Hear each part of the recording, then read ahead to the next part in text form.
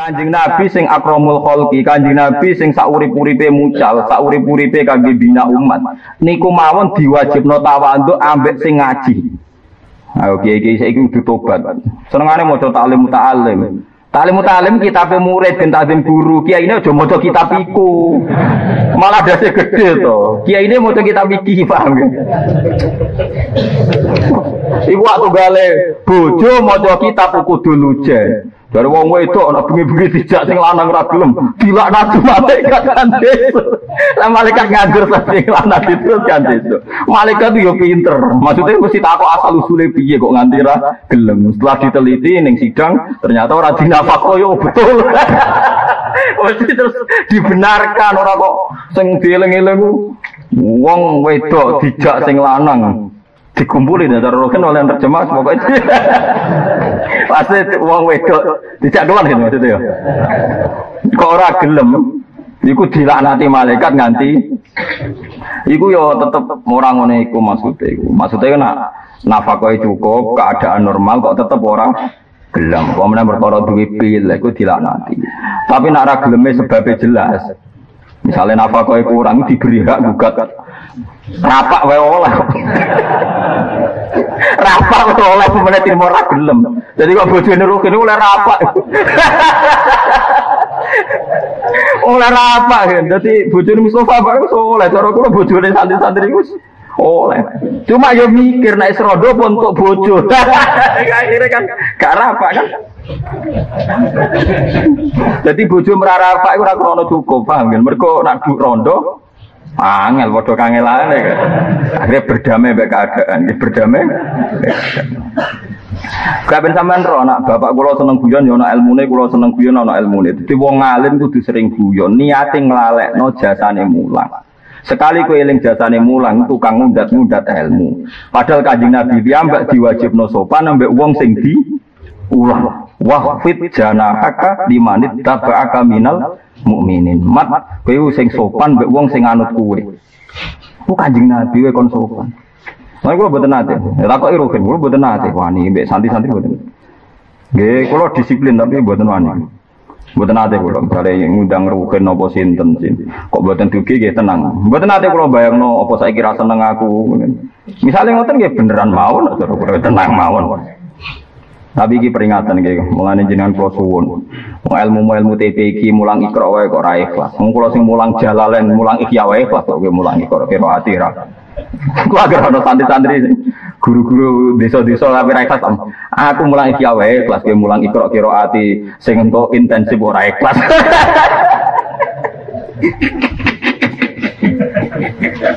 Jinan makom wis dhuwur lek mulane ikhlas nak kula dereng lho nak ikhlas ora makom-makom negeri Islam iku kudu napa? Ikhlas. Sing wa ma umiru illa liya'budu wa mukhlishina lahu din. Nek Islam iku kudu wani napa? Ayo dilatih, nek ora dipaksa. Nek ora itu tinggal guyon ben ikhlas.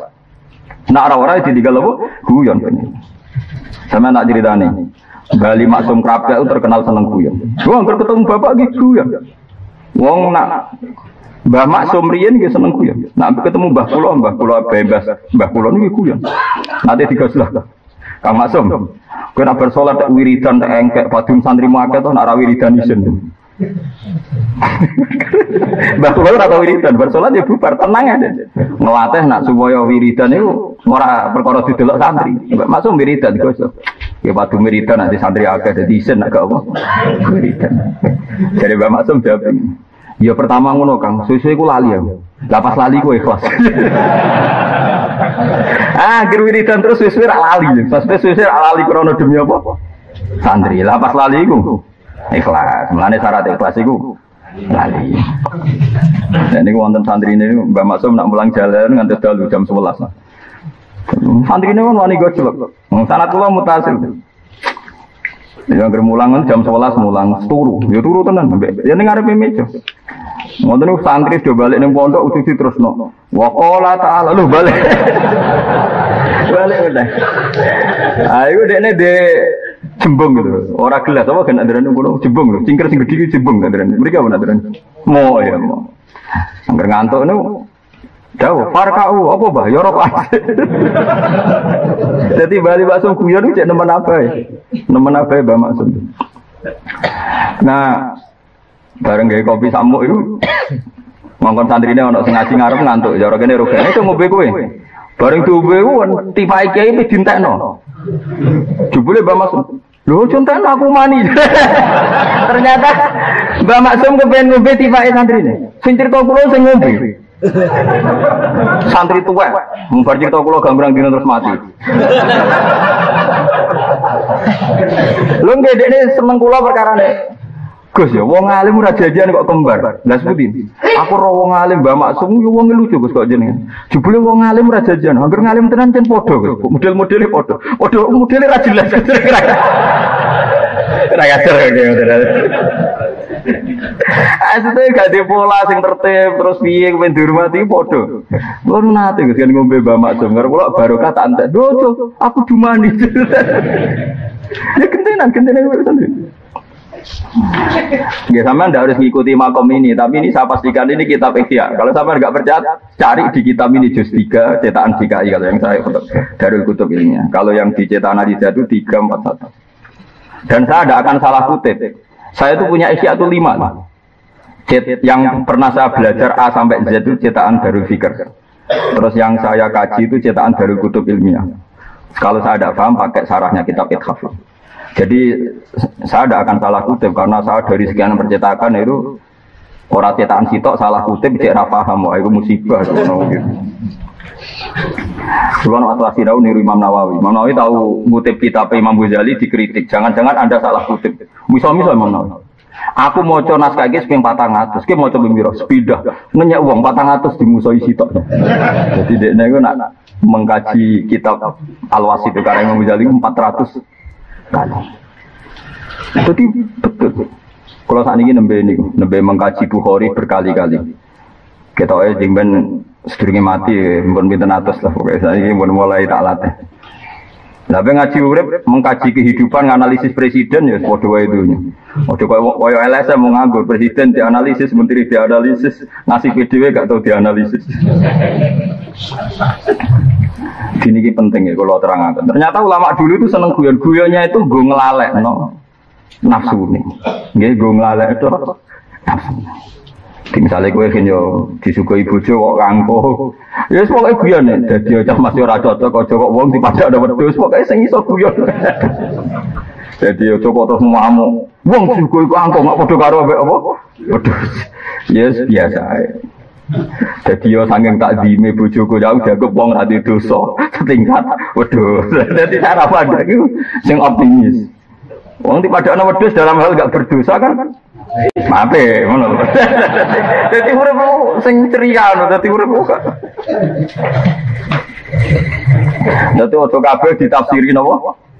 Elek. Dadi Paham kan yo? Jadi ya mencari bojo ngamuk kowe ya. Pinter bojoku tepat sasaran. Dan wong aku kudu di Jadi pinter berarti bojoku tepat apa sasaran. Ya. Terus ki nganggo ilmu ne Rasulullah wong nak diamuk iku kudu sabar engko untuk ganjaran. Jadi bojone untuk ganjaran mergo tepat sasaran. Sing lanang untuk ganjaran mergo napa? Sabar. Oh iku ahli jannah. Rian zaman sahabat itu pasangan ahli jannah itu hanya dua, sing dinas nabi, sing kasus sing lucu. Nabi u ono cawe itu wahyu ayune wong Medina. Maksudnya sing krono lucu lho, nak sing dinas warga krono serius kata Abu Bakar, Umar, Sayyidina Ali, Utsman. Ini karena lucu. Cawe itu wahyu ra karuan. Wahyu banget. Sangking ayune ku kabeh ku rawani rabi mergo sungkan kancane. Misale Rugen ya seneng Mustafa seneng daripada toleransi sira rabi kabeh. Sampai Nabi dirabekno sahabat paling elek. Keriting elek, wesek entek, semua elek bang. Suatu saat, soalnya dirabekno. Dirabekno, suatu saat pas makan malam ini takut, kue rosirine Nabi ngerabekno kue be aku. Yo, sekrungu, jadi-jadi sing wedok, kudu muring-muring, yo, sekrungu. Kena apa kowe mbak aku disebut mbak Nabi pasangan surgawi. Jadi Nabi kayak nak bener pasangan surgawi ya calur itu. Terus terus sing malah takok. Sing wis takok kena apa? Aku yo kena roh kowe langsung syukur. Alhamdulillah. Saat aku elek gini kok dibujuk ayu. Jadi aku tak roh kowe langsung sadar. Gusti musibah nopo? Lah sabar ya min sifati ahli jannah, syukur ya min sifati ahli jannah. Jadi dua pasangan ini pasangan apa? Surga. Kau sitok mesti swarga bitoriki sobri lewat jalur apa? Sabar. Sitok bitoriki Ya tentu enak sing jalur syukur. Nah, jane wong melarat sing uripe dikai wong bareng ya asline iso mlebu swarga lewat sabar ditakdir melarat dikai wong. Sing suka lewat sedekah. Ajane padha mawon urip sami mawon. Jadi ya, ya lucu nabi ngendikan ya lucu ya biasa buatan buatan berlebihan. Paham ini jelas ya tuh sampean ben ngerti nak. Tapi nak ono kiai sing serius ya ono ono dalile. Tapi kadang ono merengute tenan niku mari repot ya ono merengute tenan. Jadi yo jibuni minal qurra kullu talikin mithaq. Gitu tujuannya gini wow lho, nggih nglalekno, nggih nglalekno mboten mboten sok pahlawan, mboten sok suci. Saat ini lucu ya, kados presiden, menteri, nak mikir rakyat. Jadi presiden itu nggak ringan, berat gini-gini. Mungkin ini ya digaji nganggo pesawat negara. Mbok ya ora usah menamuni berat, mung fasilitasnya ya. Oke, misalnya jadi wong suka urusannya akeh ngene, mung dikai pangeran donya akeh. Wis ora usah ribet. Misale dadi melarat loro kepen blojo apa ngene wis ngerti nak melarat kepen blojo. Kan yo goblok. Aku gumun be melarat saiki. Gak maju pikirane gak maju. Kulo sering ra alumni alumni semelarat, anggere tok sowan kula terus tobat. Perkara ning kok. Dadi melarat ora enak. Kepengin opo-opo ora iso. Misale kepengin opo? Ben tuku TV ra iso bener. Harus dikit wis melarat kok kepengin. Yo tambah melarat. Wis ngerti nak melarat tuh kepengin pot-pot ngene. Jadi ora di etika, etika melarat itu ono, paham ya? Lha kula ilmu ngoten niku gadah sanad dengan itu Abdul Qasim Al Junaidi sing terkenal. Tokoh toriko sing masyhur di antara Abdul Qasim napa? Al Junaidi. Mulane muka lain ada wong jenenge Junad, Junad dhuwur Korea Abdul Qasim sinten? Niku alim ahli toriko. Suatu saat ngongkon santri ini, ya jenenge mursyid itu ora pati di duit. Ngongkon santri ini, cung tuh kok no daging. Cara saya gitu gani dik ketahui. Jumlah daging sak kilo wis pitung puluh. Walhasil balik nera cukup. Pak Yai duit buatan cekap, pergi daging pun naik. Jadi Abdul Qasim enak arti suhu. Yo gawe murah cuma naik naik. Wong ketemu orang ratu kok malah digawe murah. Yo digawe murah ora iso tuku blok goblok. Uang kok goblok kira karuan.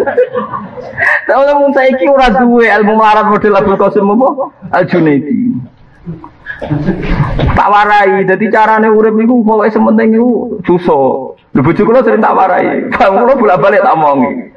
Kula niku sering teng pasar be anak kula sing umur 2 tahun. Saiki anak kula sing nomor 3. Sering blojo teng pasar tumbas jajan ke kangkang ke mbak-mbak. Betul duit 100.000. Niku tuku jajan pasar ben. Wes tuku sak persek ngaku gawa kabutan kan montek 30.000. Berarti kan duitku susuk pitung puluh ya. Wah aku nak belanja bila sing susuk. Jadi kau yang suka, yang susuk terus. Nah, aku lalu gue satu sewu kok mau galeri goblok tapi kan kurang. Paham, paham gitu. Ya? Jadi kita warai. Jadi kiat-kiat menyelesaikan kemiskinan. Jadi kau yang rugi digantengi sama ini. Kudu boleh gunung kidul. Mesti sing wedok sing matur nuwun.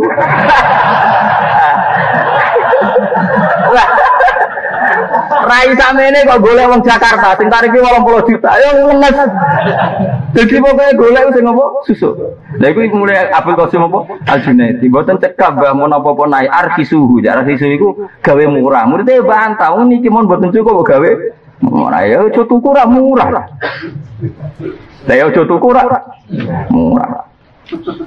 Paham kan? Mulane kira usah tuku mobil larang ya. Beca, ya beca, susu. Cari-cari tuku B subal ini kan gampang susu. Mau numpak bis sapi hmm, kan nggak usah duit tapi kan tetap baik bodoh. Numpak bis apa? Sapi ya pokoknya di kiat-kiat menyelesaikan kemiskinan tanpa ngenes itu kudu di kudu di ilmu ini Larian ulama itu sangat cerdas ngoten terus didik murid itu rasa sekedar ngaji dilatih. Carane murah norgo yo arfi suhu. Kayak murah. Lah putih yo tuku. Akhirnya murid itu faham Nah, pokoknya walhasil urip kudu eling-eling ya, kudu nopo. Lah kowe dakwah nggih ngoten. Kula kemarin ditamu saking Bojonegoro. Uh, dua minggu yang lalu.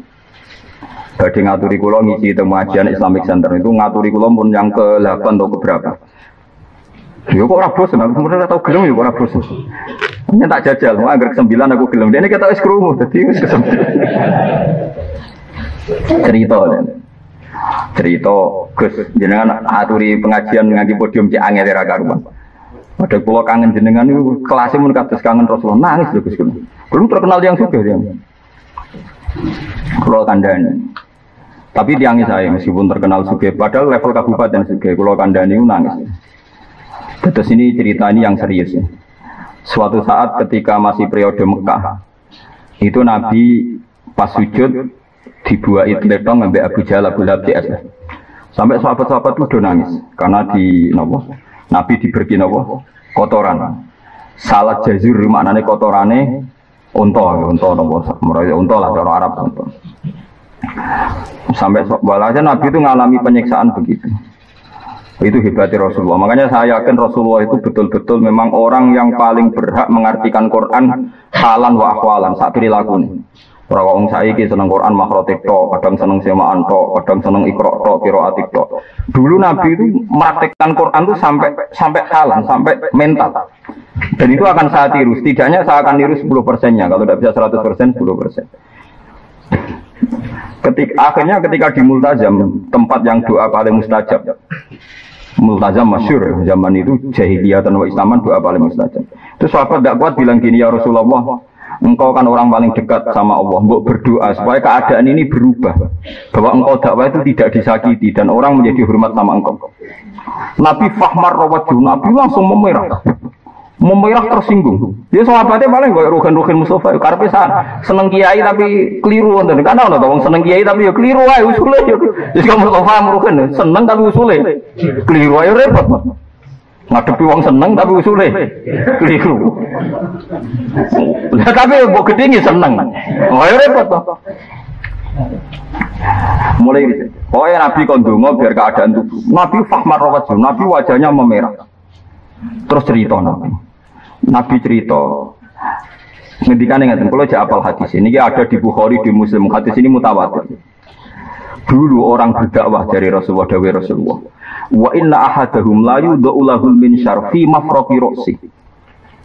Fa yasukkuhu syikkan. Wa ma yasuddu dzalika antini. Diseu gara-gara dakwah iki londas iki. Dikai graji pas tengah terus digraji nganti sigar jadi loro. Dan itu tidak menghalangi dakwahnya Nabi itu. Orang tahu semua kabudute Nabi Zakaria itu sekedar dibunuh, dimuti, lagi digergaji sampai sigar. Terus Nabi cerita masih toh sing digoreng. Terakhir Nabi cerita ashabil ukhdud. Ashabil ukhdud ku dakwah ngajak ngaji. Dicekel ambek wong kafir.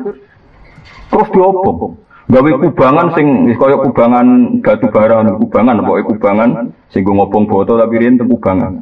Nah saniki boto di obong nak teng dhuwur, nak teng daerah kula kaya ngobong iku lho gampang. Iku teng judangan ya. Lha iku ada judangan. Terus wong kafir udah rokok-rokokan ning dhuwur. Dadi ngelbokno ning ngenteni wong kafir do kumpul akeh terus lagi dicemplungno. Kutila ashabul ukhdud annari dzatil waqud izhum 'alaiha kok jadi wong kafir do guyu-guyu. Wa hum 'ala ma yaf'aluna bil mu'minina syuhud. Terus di, ketika dicemplungno kejet-kejet udah guyu ngakak-ngakak. Terus Nabi ngendikan, aku lagi terima dikenek wong kafir kok kowe njuk futuhat. Utekem nih, pikir.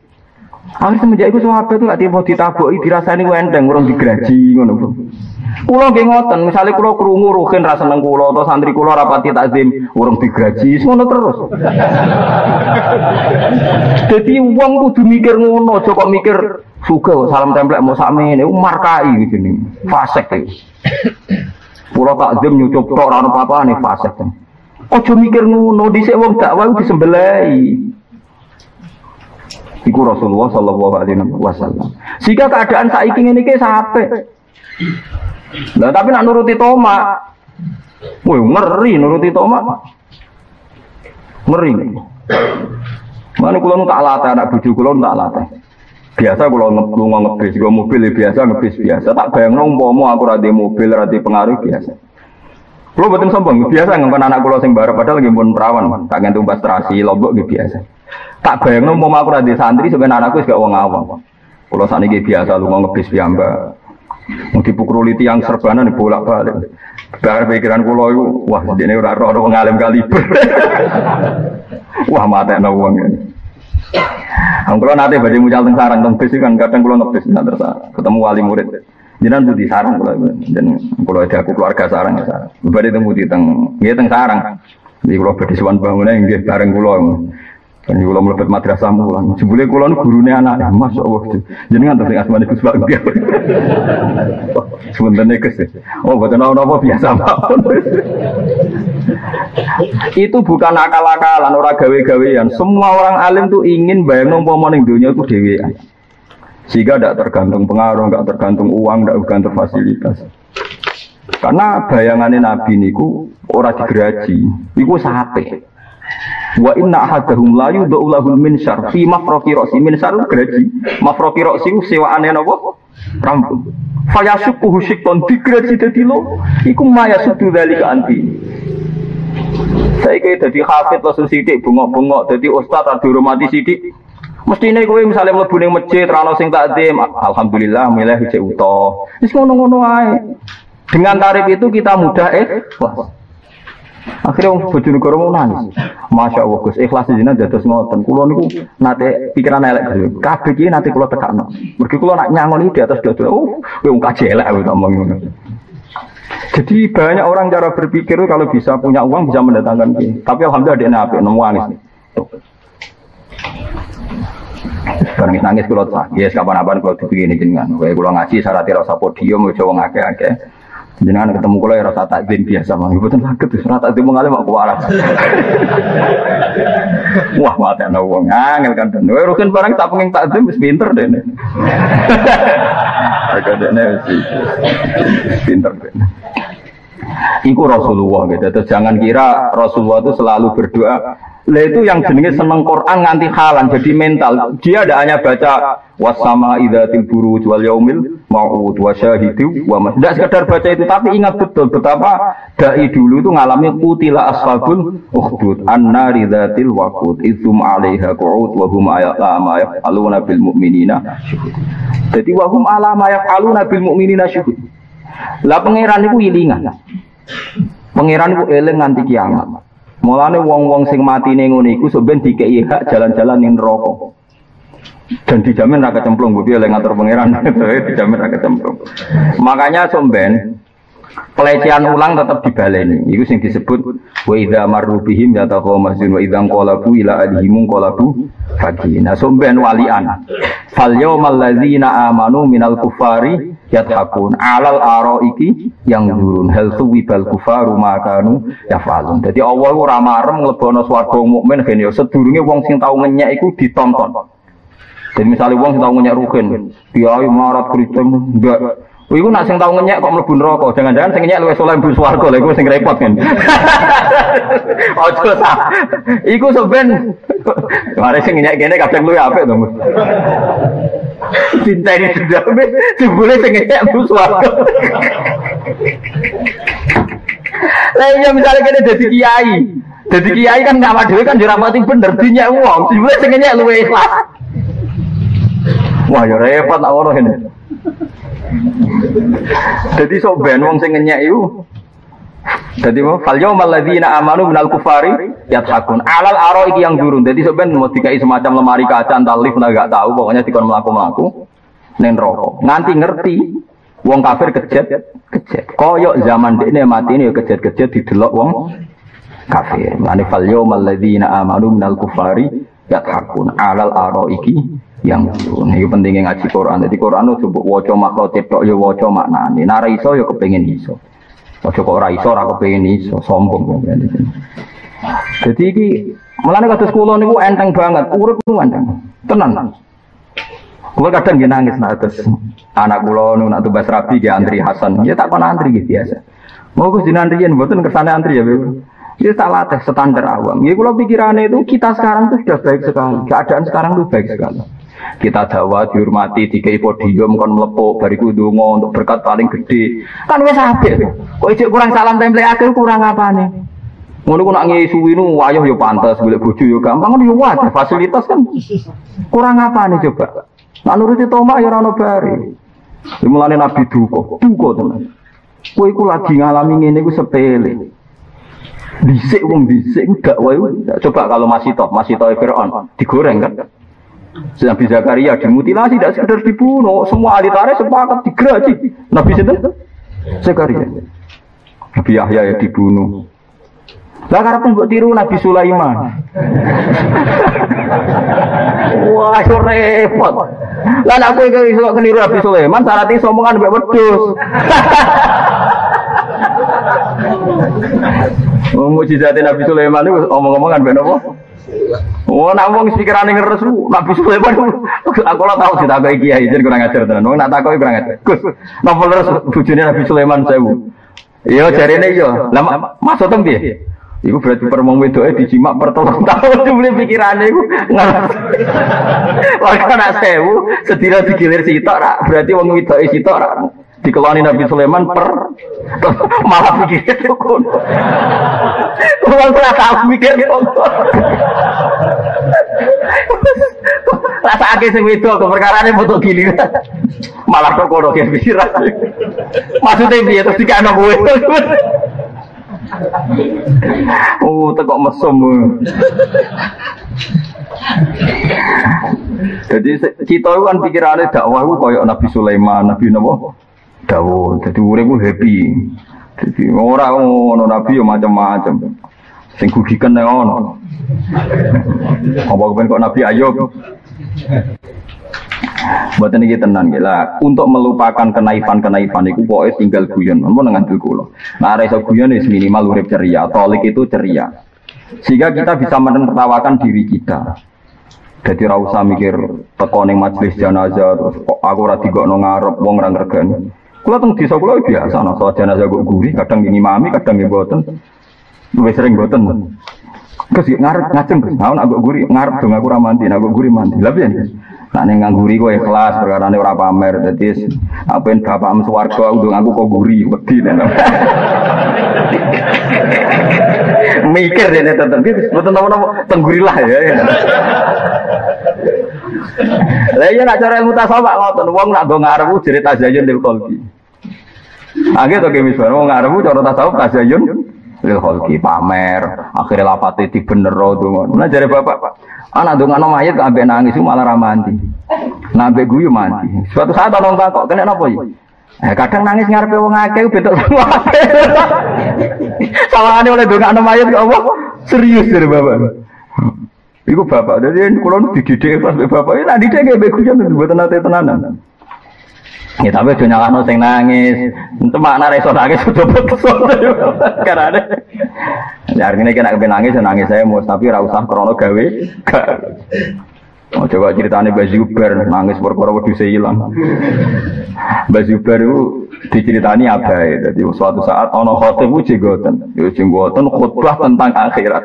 Ngeri, cerita neraka ngeri.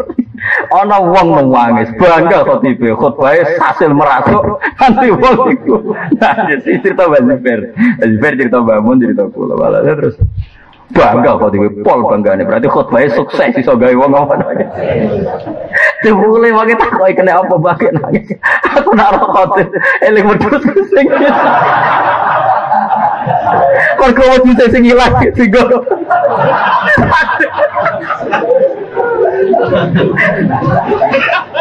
Kena wong awam kuat tuh pikiran. Iya gitu, gak loro tapi dihormati wong awam. Wong awam hormati kiai ora tau bener. Sowan kiai jar perkara dungane mandi, ra dungane mandi kok ndongakno dekne sugih. Mandi. Dadi dekne di versi dhewe.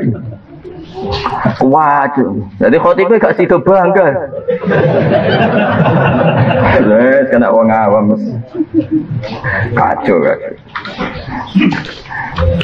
Rian baju baru seneng cerita-cerita. Yang paling masyur ke, kalau nanti cerita tentang ngaji mereka. Terus dia nono wong alim, alim pondok ewa ke. Bareng santri nake, pikirannya santri. Wah, wong kok alim ngono. Pas itu jenenge kiai soleh. Awang kok alim ngono. Berarti abai luwe alim. Lalu suatu saat bapak dolan rono iku nguyah pinggir musola. Lah anak nguyah ning ratan iku minggir truk wis akeh iku ora pinggir apa musola. Pertama wis ditakwil, takwil artinya mungkin jaga, mungkin apa cek iso ditakwil. Ditakwil jaga yo kok nemen. Wis entek oleh nakwil wis entek. Piye ditakwil jaga yo ora Jadam nganti udah ngono nguyah pinggir musola tetep angel, tetap wilane angel. Sesuai santri gak kuat takok, takok ke soleh, Pak Soleh. Jiran wali mengoten kulo nu kagum. Bayangan kulo ape jenengan luwe alim. Tapi sausé kulo ngertos bapak jenengan dhewe nguyah ning musala itu kulo entek. Berarti bapak jenengan wong awam wong bodoh.